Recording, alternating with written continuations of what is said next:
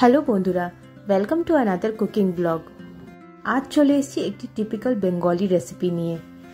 তবে তার আগে যারা যারা আমার চ্যানেলটিকে সাবস্ক্রাইব করেছেন, অসংখ্য ধন্যবাদ। আর যারা যারা এখনও করেননি, আমার রেসিপিগুলো যদি আপনাদের ভালো লাগে প্লিজ সাবস্ক্রাইব করবেন। চলুন আজকে রেসিপি স্টার্ট করি। প্রথমে কড়াইতে আমি সর্ষের তেল দিয়ে দিয়েছি, তার মধ্যে দিয়ে দেবো একটি তেজপাতা আর শুকনো লঙ্কা। পর দিয়ে দেবো গোটা গরম মশলা। আমি নিয়েছি দুটো এলাচ কিছু লবঙ্গ আর একটু দারচিনি। যে কোনো রান্নায় ফোড়নটাই আসল। তাই ফোড়নটা একটু কিছুক্ষণ হতে দিয়ে তারপর আমি দিয়ে দিয়ে দিয়েছি, তার মধ্যে দুটো ছোট ছোট আলু আমি ডুমু করে কেটে নিয়েছি। এরপর দিয়ে দেবো তার মধ্যে হলুদ গুঁড়ো। দিয়ে এবার একটু ভালো করে আলুগুলো আমরা ভেজে নেব। যতক্ষণ আমরা আলুগুলো ভাজছি, ততক্ষণ আমরা একটা মশলা বানিয়ে নিচ্ছি। দিয়ে দেবো প্রথমে জিরের গুঁড়ো, ধনের গুঁড়ো, তার হলুদ গুঁড়ো, আর দিয়ে দেবো স্বাদ মতো নুন। আর দেবো লাল লঙ্কা গুঁড়ো। তারপর একটু জল দিয়ে আমরা সেই মশলাগুলোকে একটু ভালো করে গুলিয়ে নেব।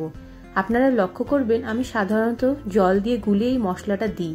এতে আরও টেস্টটা খুব সুন্দর আসে। এবার আমাদের আলুগুলো প্রায় ভাজা হয়ে গেছে, আমরা এর মধ্যে একটু কিশমিশ অ্যাড করে দেবো। আপনারা চাইলে এখানে বাদামও অ্যাড করতে পারেন বা কাজুও দিতে পারেন। এবার দিয়ে দেবো এর মধ্যে দুমুট আতপ চাল। আতপ চাল গন্ধের জন্য এই তরকারিটির টেস্টটা খুব সুন্দর আসে। এবার প্রায় আমার ভাজা হয়ে গেছে। এরপর দিয়ে দেবো আমি মশলাটা, যেটা আমি বানিয়ে রেখেছিলাম। এবার পাঁচ মিনিটের মতন আমরা মশলাটাকে একটু কষতে দিয়ে দেব আলু আর চালের সাথে। তারপর দিয়ে দেব যে হিরো ইনগ্রিডিয়েন্ট, সেটা হচ্ছে আমাদের মূলো। মূলোটাকে আমি এখানে গ্রেটারে হালকা যেটা মিহি গ্রেট করে, সেটা আমি গ্রেট করে নিয়েছি। দিয়ে এবার দিয়ে দিয়েছি এর মধ্যে, এবার সবগুলোকে একসাথে ভালো করে মিশিয়ে নেব। এই সময় ফ্লেমটি মিডিয়ামে রেখে আমরা বেশ কিছুক্ষণ ধরে ভালো করে এটাকে ভেজে নেব।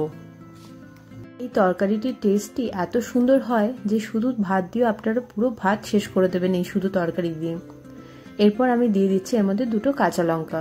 যেহেতু আমি এখানে বেশি ঝাল দিচ্ছি না, একটাই শুকনো লঙ্কা প্রথমে দিয়েছি আর এখানে দুটো দিয়ে দিলাম কাঁচা লঙ্কা। এবার রান্নাটা আমাদের প্রায় শেষের পথে। এবার আমি দিয়ে দেবো এর মধ্যে গরম মশলার গুঁড়ো আর যেটা নিরামিষ রান্নার সেরা জিনিস, এবার সেটা দিয়ে দেবো। সেটা হলো ঘি। ঘি আমি এখানে মোটামুটি দেড় টেবিল চামচ মতন দিয়েছি। আবারও ভালো করে সবগুলোকে মিশিয়ে নেব। মিশিয়ে নিয়ে আমি আলুগুলোকে একবার দেখে নিচ্ছি। আলুগুলো আমার একদম পুরো সেদ্ধ হয়ে গেছে, তাই আমার রান্নাটা মোটামুটি এবার শেষ। এবার আমি লাস্টে দিয়ে দেবো এখানে চিনি। চিনিটা এই জন্য আমি এখানে দিই, কারণ চিনিটা দিলে পুরো সব কিছু টেস্টটা পুরো ব্যালেন্স হয়ে যায়। নিরামিষ রান্নায় একটু চিনি পড়লে তার স্বাদই আলাদা। চলুন, এবার তাহলে আমার তরকারিটি প্রায় হয়ে গেছে। আমি এটাকে সার্ভ করার প্রসেসের দিকে যাই। যদিও যে এত সুন্দর একটা ঘন্ট হতে পারে, সেটা আপনারা না ট্রাই করলে বুঝতে পারবেন না। তাই এই রান্নাটি একবার ট্রাই করে দেখুন। আর আমাকে অবশ্যই জানাবেন যে কেমন লাগল। চলুন তাহলে আজকের ভিডিওটি আমি এখানেই শেষ করছি। যদি আমার ভিডিওটি ভালো লেগে থাকে তাহলে প্লিজ লাইক বা কমেন্ট আর শেয়ার করবেন। অসংখ্য ধন্যবাদ।